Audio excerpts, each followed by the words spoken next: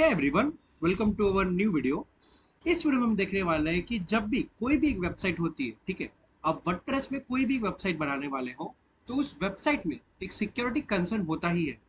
तो कैसे अपने वेबसाइट को सिक्योरिटी प्रूफ और उसी के साथ साथ अपने वेबसाइट में तरह तरह की सिक्योरिटी फीचर्स हम ऐड कर सकते हैं और देख सकते हैं कि कैसे हम अपने वेबसाइट को सिक्योर और उसी के साथ साथ उसे बहुत ही ज़्यादा ऑप्टिमाइज कर सकते हैं सिक्योरिटी पर्पज में, ठीक है। सो लेट्स सी कि हम कैसे कर सकते हैं। सो so, आपकी वेबसाइट कोई भी हो सकती है। तो लेट्स सी मैंने जो अभी वेबसाइट मैं यूज़ कर रहा हूँ वो एक पोर्टफोलियो वेबसाइट है ठीक है? तो आइए देखते हैं कि सबसे पहले कौन कौन सी ऐसी सिक्योरिटी चीज़ें हैं जो हमें करनी चाहिए हमारी वेबसाइट में ठीक है? तो जो सबसे पहला सिक्योरिटी फीचर्स है और कंसर्न है वो है एक स्ट्रॉन्ग पासवर्ड ठीक है? तो अपने वेबसाइट को कभी भी एक स्ट्रॉन्ग पासवर्ड रखना तो वो कैसे रखते हैं? आपको जाना है सेटिंग में। सेटिंग के अंदर आपको ऑप्शन मिल जाएगा जर्नल जर्नल में चले जाइए आप। फिर जर्नल में जाने के बाद आपको एकदम नीचे जाना है। यहाँ पे आपको ऑबिट्स बहुत सी चीज़ें मिल जाएँगी, जैसे कि एडमिनिस्ट्रेटिव ईमेल एड्रेस तो आप याद रखिए कि आपने जो ईमेल एड्रेस रखा है, वो आपका ही हो प्रॉपरली ठीक है? नेक्स्ट इसके बाद यहाँ पे बहुत सारे रूल्स होते हैं, जो कि होगा न्यू यूज़र डिफ़ॉल्ट रूल तो ये सब्सक्राइबर ही हो, ठीक है? इसके बाद नेक्स्ट आपको दूसरा काम जो करना है, वो करना है टूल्स में, ठीक है? सॉरी सॉरी यूज़र्स हाँ माफ़ करना। यूज़र्स में, ठीक है? यूज़र में क्लिक करने के बाद ऑल यूज़र आपकी वेबसाइट में कितने भी यूज़र हो सकते हैं राइट जैसे कि यहाँ पे फ़िलहाल तो मैं एक एक ही यूज़र हूँ। हो सकता है आपकी वेबसाइट में दो या फिर दो से ज़्यादा यूज़र्स हो, जो आपकी वेबसाइट्स को कोलैब करके वर्क कर रहे हो डेवलप कर रहे हो, ठीक है? तो याद रखिएगा कि उनका जो पासवर्ड हो, वो हमेशा बहुत ज़्यादा स्ट्रांग हो, ठीक है? तो आपका जो भी यूज़र है, उसमें एडिट कर लीजिए एडिट में जाइए। एडिट में जाने के बाद आपकी वेबसाइट में एकदम नीचे जाएँगे आप। यहाँ पे आपको ऑप्शन आएगा सेट न्यू पासवर्ड ये रहा। ठीक है? इस पर क्लिक कर लेते हैं। अभी रहा न्यू एप्लीकेशन सॉरी माफ़ करना। जस्ट मिनट ये रहा, ठीक है? अब यहाँ पे सेट न्यू पासवर्ड के लिए देखिए आपको एक लाइक ऑप्शन आ गया, एक इनपुट आ गया। अब यहाँ पे जो भी आपका पासवर्ड है, अब यहाँ पे पासवर्ड दे दीजिए। याद रखना कि आपका जो पासवर्ड हो, वो बहुत ही ज़्यादा अच्छा और बहुत ही यू नो स्ट्रॉन्ग होना चाहिए।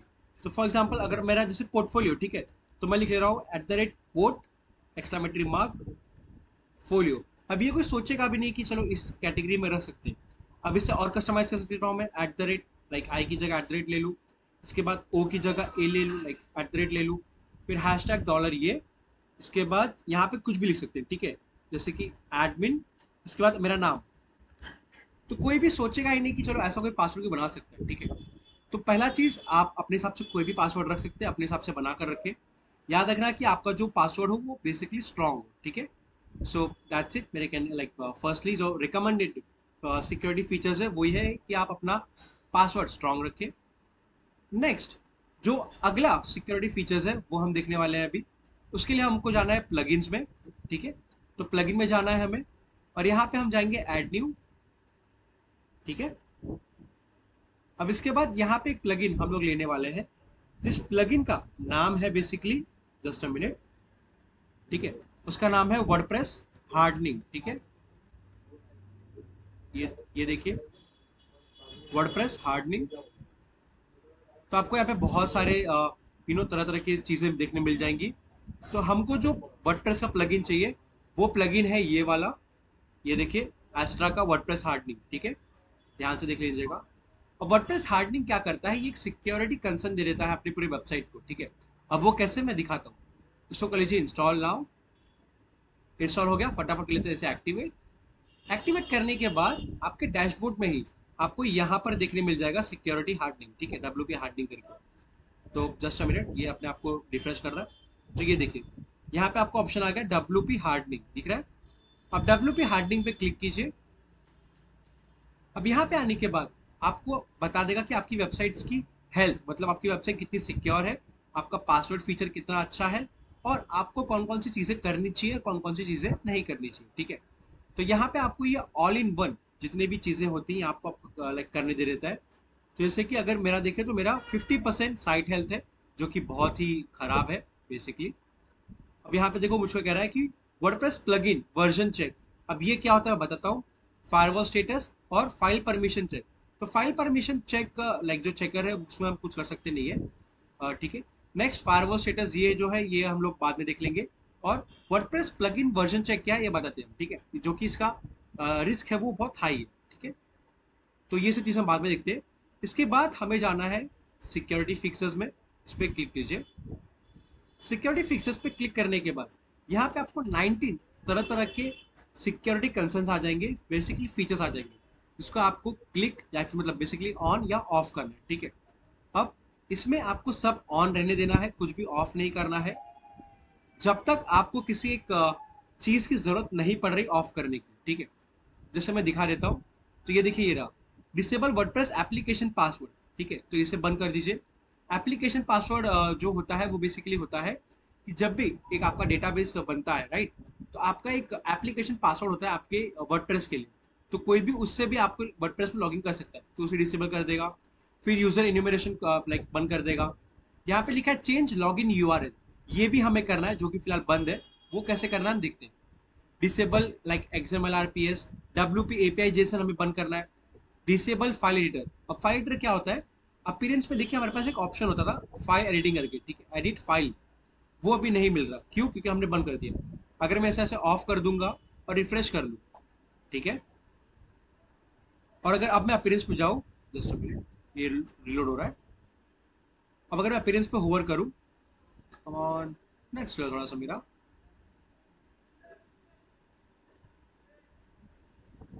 ओके हो गया, ठीक है? अब यहाँ पे अगर मैं, देखिए, ऊपर लाइक इस पर होवर कर, इसके अंदर जाऊँगा तो मुझे यहाँ पे कस्टमाइजेशन के ऑप्शन आ जाएँगे थीम्स को लेकर, ठीक है? तो जैसे कि देखिए एडिटर ये रहा कस्टमाइज ये सब रहेंगे। इसके बाद यहाँ पे एक फ़ाइल एडिटर करके कोई चीज़ आ जाएगी, ठीक है? ठीक है? तो इसे भी ऑन कर लेते हैं। इसी के साथ साथ यहाँ पे और भी बहुत सारी चीज़ें हैं। याद रखना कि ये सब चीज़ें आपकी वेबसाइट को कहीं ना कहीं अफेक्ट कर रही है। जैसे कि यहाँ पे मैं कह रहा हूँ कि remove WordPress meta generator tag अब मेटा जनरेटर टैग हमारे सोशल शेयर्स में काम आते हैं। यहाँ पे देखो स्टाइल शीट में बंद कर दे रहा हूँ। फिर रिमूव वर्जन फ्रॉम स्क्रिप्ट तो ये सब चीज़ें ऑफ़ होनी चाहिए। पर अगर आपकी वेबसाइट में, जैसे कि अगर दिखाता हूँ, ठीक है, जैसे अगर मैं ऑन कर दूँ, ठीक है तो इससे हमारी वेबसाइट को कोई अफेक्ट नहीं होगा, ठीक है, अगर मैं इसको रिफ्रेश करके दिखा दूँ तो। पर ऑफकोर्स हमारे वेबसाइट से बहुत सारी चीज़ें जहाँ पे स्टाइल और सी यूज़ होता है, ठीक है, जैसे कि स्क्रिप्ट और स्टाइल शीट यूज़ होती है। तो आने वाले टाइम में जब आप किसी चीज़ को डेवलप कर रहे हो तो ये सब चीज़ें हो सकता है वर्क ना करें, तब आपको यहाँ पे ये सब आके बंद करना पड़ेगा, ठीक है। फिर सर्वर हार्डनिंग देखिए, यहाँ पर देखने मिल जा रहा है। सिक्योरिटी हार्ड हेडर्स आपको मिल जा रहा है। ये देखिए, यहाँ पर, ठीक है? तो यहाँ पे आप सब ऑन रख ले रहे। इसके बाद यहाँ पे लाइक एक लाइक एक फीचर है चेंज लॉग इन यू ये क्या होता है, हम देख लेते हैं, ठीक है? अब जैसे समझ लीजिए, आपकी ये पोर्टफोलियो वेबसाइट है, ठीक है? यहाँ पर आऊँ और यहाँ पे स्लैश लॉग इन लिख लूँ। तो मैं अपने वर्ड में देखो लॉग कर पा रहा हूँ। तो ऐसे कोई भी मेरे वर्ड में आके लॉग कर सकता है हैशटैग लाइक स्लैश लॉग करके, ठीक है?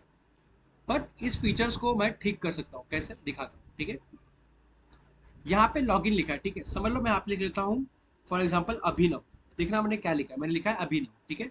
अब इसे कर देता हूँ मैं ऑन देखिए मैंने ऑन कर दिया। अब यहाँ पे आकर, अगर मैं इस वेबसाइट को रिफ्रेश कर लूँ ठीक है?